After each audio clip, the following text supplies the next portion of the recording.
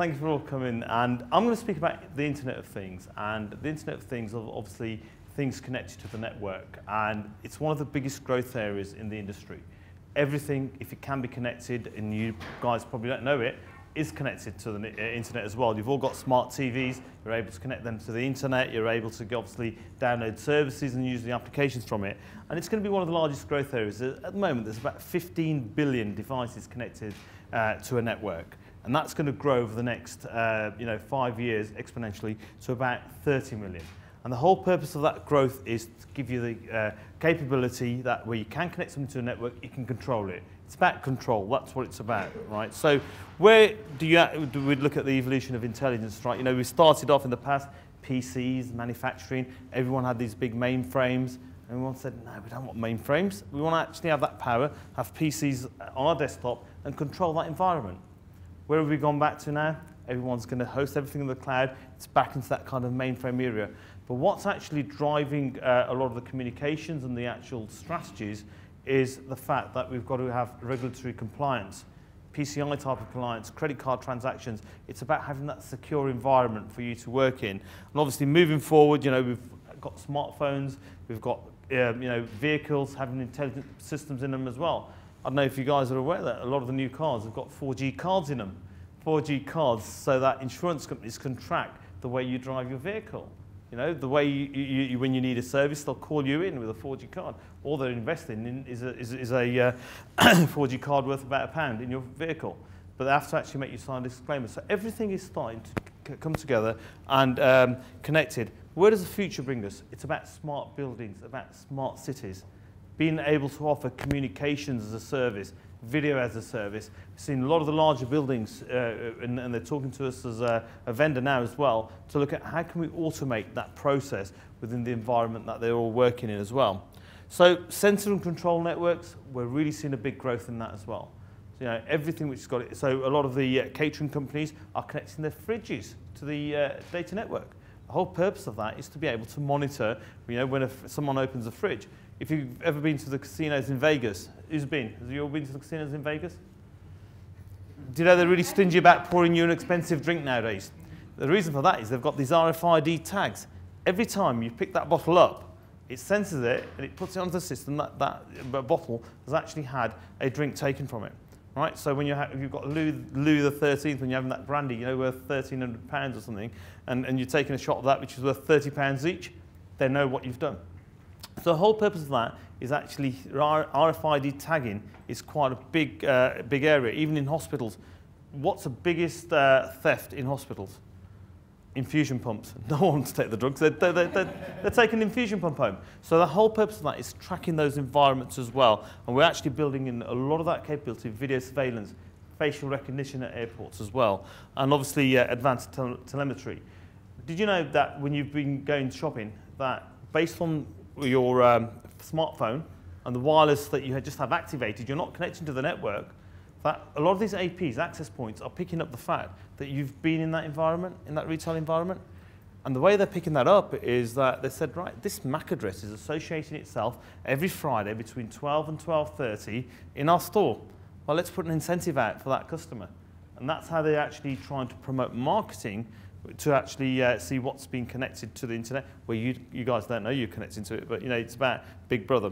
So what we're looking at is the first waves in the 60s and 70s. You know, you're looking at IT operational staff issues. You had increased productivity, the rise of the internet. Everyone was saying, internet, we should be able to talk to everyone. The whole purpose of the internet being developed was that. But then all organizations were trying to stop you. And then we had this big wave a few years ago about BYOD, bring your own devices right? Buy your own dinner.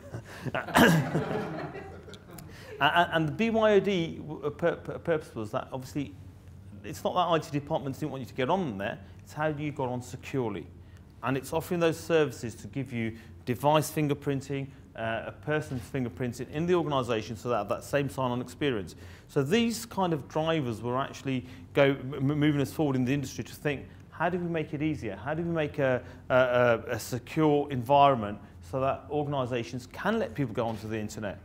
So when you're at home, all your kids, you're, they're on Scopia, they're on like you know uh, Twitter accounts, they're able to use uh, a video conferencing. You come into the organisation, they say no, you can't. There's a security concern, and the time you change is when a senior director comes in and says, I want my iPad on the network. And then you've got to look at your corporate compliance sort of uh, capabilities about that's another attachment of a device there as well. So, you know, cloud enabled, everything is going cloud based, you know, even if you're, you're buying uh, uh, wireless uh, APs now, you can control them from the cloud. Um, how many of you have got uh, systems at home where you're able to look at your video surveillance at home? Has anybody got CCTV cameras at home and they can actually go and see what's going on at the house? Yeah, you have, excellent. So you can see, you know, who's coming in and who's going out. And then it's about sort of uh, uh, energy companies now as well. So if you've got, um, for example, like the panels, solar panels, you can actually see how much energy you're using how much energy you're actually uh, absorbing and actually uh, sort of creating as well. Because obviously, you know, you had this feed-in tariff, you can see how much money you're making. So when I look at mine and I can see the use is about 2.3 kilowatts, the first thing I do is pick up that phone and say, turn those bloody lights off.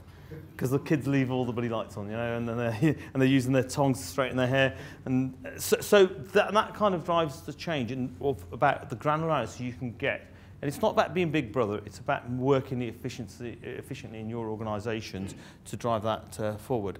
So, you know, we look at the market, smart cities has a big impact on smart cities, and this is what we're going to. You look at Camden Market, they're using a lot of our technology to actually smart uh, do smart uh, TV. They're looking at smart intelligent lighting systems as well, so that you know the lighting system comes on at a certain time of the day, or you can control the lighting as well. Hull City Football Club, they've actually gone and uh, put all their lighting on LED systems on uh, networking switches, so you can actually control that as the camera comes around, sweeps around, you know, you, the lighting dims so the camera gets a better shot uh, for, for, for the TV as well.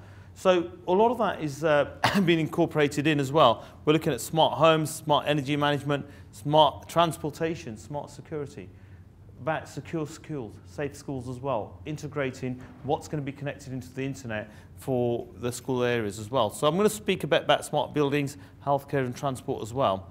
But if you look at in migration of the Internet of Things as well, if you look at that time curve there, it's like looking at the first phase was RFID tags about, you know, what I said about obviously um, monitoring how many drinks you poured, how many times that bottle was picked up, who you, uh, where you are in a hospital, you know, trying to pick up whether there's a doctor close proximity.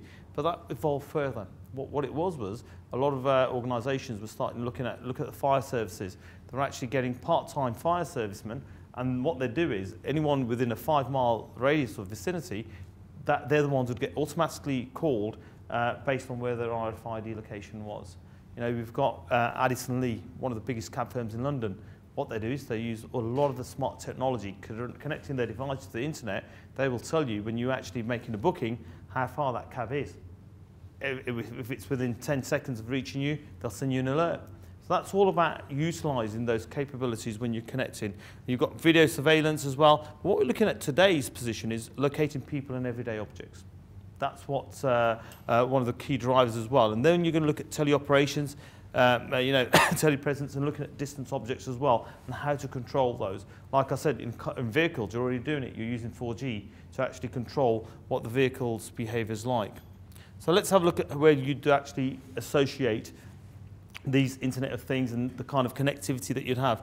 A lot of monitoring of railways, control of the track, uh, tracks as well, so that mistakes aren't made. Human error is probably one of the biggest areas where you see accidents occur. So let's, let's eliminate that human error, you know, have that controlled system, uh, be able to obviously uh, change the track uh, sequences as well. Air quality and flow, temperature. Video surveillance is probably one of the biggest areas that we're seeing arising.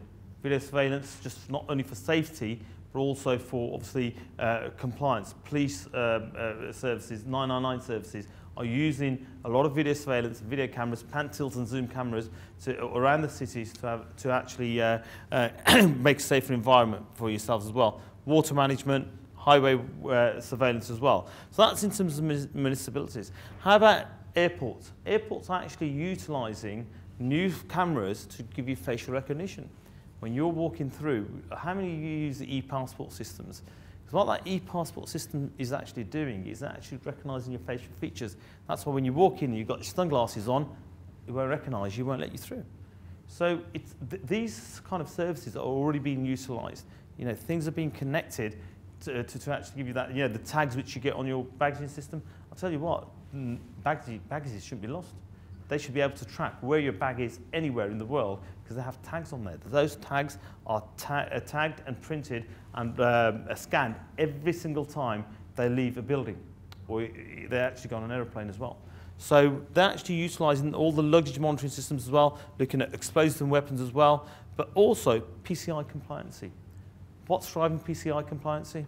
It's the ability to obviously have credit card transactions safely in, and safeguarding your uh, um, uh, details while it's doing that, right? So you look at a lot of airports now, what they're doing is it's about like, you know, looking at identity of uh, single sign-on identity. Airport staff can go and sit on any single desk now. Based on the single sign-on, they'll say, right, this person belongs to Virgin as a carrier, and they'll actually bring the Virgin screen behind them, and you can go and check in there. And they'll only use that particular multi-tenanted environment to securely uh, do all their credit card transactions as well. So it's, it's, it's at work now, you know, credit card transactions are still very, very sensitive. You know, people are wary about using them, but there's a, the security built around them. And what's actually driving that change is the government, PCI compliancy, right, uh, to give you that uh, capability as well. Smarter cities, right, buildings, look at the smart buildings, people walking in, they swipe their pass through, recognizes who's coming to the building, what it'll do is it'll only allow that pass to go to the only, uh, only to that floor that allowed to. Now I went into a building yesterday and they said, right, what floor do you want to go to? And I said, floor number three. And it says, yeah, use elevator number three. It's about, you know, managing that environment sensibly to say they don't want me to stop at every single floor, uh, you know, before getting right to the top. So a lot of this intelligence, and, and that's built in, and that's what Internet of Things is about. The connectivity to the internet uh, the connectivity to your local area networks to give you that capability as well. You know, smart smitty, smart, smart uh, uh, you know, people using their devices. How many people have got more than one device? We all have. We've got about three or four devices, haven't we? We all want them connected to the internet. So what we're looking at is, is a big growth. You know, if your organizations require, uh, obviously, uh, assistance in obviously building that growth, we know that the networking behind it needs to facilitate that growth area as well. Okay, look at medical healthcare. You know, we're looking at patient monitoring, like remote monitoring as well. So it's not just about being in hospitals. It's about monitoring that individual at home over a video surveillance link to see if they're okay. It's taken away that factor of having a physical person there and being able to monitor that environment. Now, more and more um, areas that we're seeing taking this on board are um, things like nurseries and, and after school clubs. Because parents say, we don't care if other parents can see our children. We want to be able to see our own children as well in a safe environment. Because as soon as you go, you know that the, uh, the, all the uh, staff are going to eat McDonald's in front of the kids and say, right, you better have your greens instead. But you know, so it's about building that environment of, of safety for yourself, for your children. Now, the other thing about safer schools is, uh, uh, I'll come on to the uh, uh, hospital environment in a minute, is about people walking around the school, uh, outside the school campus. So what Wi-Fi is doing is it's capturing someone's MAC address. So if people are outside walking around at a certain time, which isn't during, uh, you know, uh, you're uh, dropping the kids off or picking them up, they want to monitor that. Police are actually picking up those stats to see is that a safe environment for the child to be in? Because we can pick up that person tracking around, and that MAC address is associated with a, um, a provider of a phone which is attached to your IMEI, IMEI number, so they can trace back everything on what you're doing. It is, you know, they've got so much data on us that they're picking up on. But, you know, obviously looking at nurse physician alerts as well, a lot of the um, um, IC, uh, ITU, the, uh, uh, the, the actual ITU departments now, they actually run on wireless networks. Patients are uh, con uh, connected using all the, the telecommunications equipment on a wireless network. So it's got to be robust. It's, it's all connected. It can tell you when someone's heartbeat's going down. It tells you if someone's having a heart attack. You know, it tells you if someone's not breathing right. That's all been picked up by sensors, right? If you're at home, if you don't wake up, right, in a uh, environment where they've got you, uh, um, someone's bedridden and they, and they don't see that uh, uh, pressure mat being uh, released so that people aren't waking up, they can send someone around. So with all these environments, we're looking at it, entry, entry exit systems as well. But as I said, PCI compliance is one of the main things which is uh, driving these changes as well. I spoke about LED lighting. So, you know, a lot of football clubs, a lot of obviously highway agencies as well, they're actually looking at connecting intelligent lighting systems.